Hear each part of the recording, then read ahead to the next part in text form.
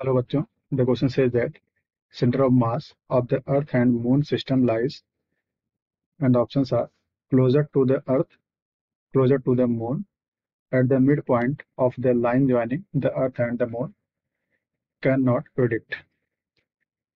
तो इसका लिखते हैं की कॉन्सेप्ट हो जाएगा, देखिएगा। दो बॉडी मानते हैं इस तरह से, एक का मास एम वन है और एक का मास एम टू ठीक, मान लेते हैं कि m1 जो है greater than m1 is greater than m2 तो इसका सेंटर ऑफ़ मास कहाँ होगा? M1 की तरफ़ होगा। ये आपका सेंटर ऑफ़ मास है। मिड पॉइंट नहीं होगा। जो हैवियर मास है, उसकी तरफ़ सेंटर ऑफ़ मास शिफ्ट होता है।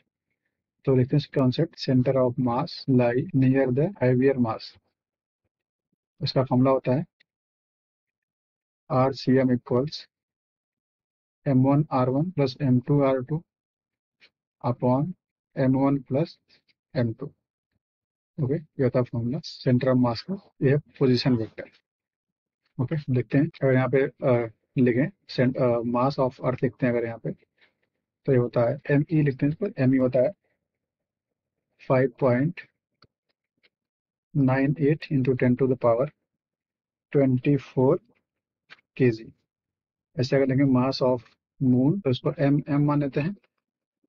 तो ये बन जाएगा। ये होता है seven point four into ten to the power twenty two K G देखिएगा। अर्थ का मास ज़्यादा है, क्योंकि ten to power twenty four लिखा है और इसका मास कम है। तो यहाँ लिख सकते हैं mass of earth is greater than mass of moon that's why centre of mass lie near the earth okay option match करते हैं। तो ऑप्शन ए जो है सही है। Hope you understood it well all the best